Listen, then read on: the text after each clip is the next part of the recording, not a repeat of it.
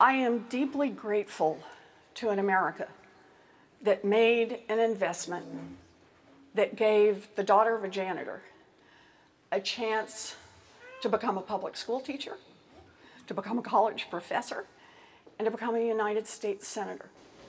President.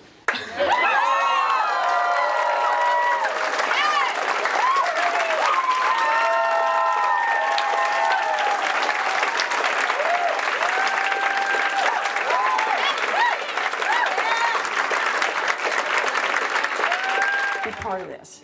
This is how we make change. Whatever it is you can do, go to elizabethwarren.com, get in there, volunteer, offer to hold a sign, get a bumper sticker and put it on your car, go talk to your neighbors, pitch in five bucks.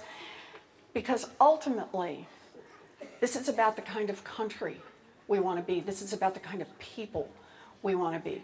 It's an honor to be here with you, and we're going to win this fight.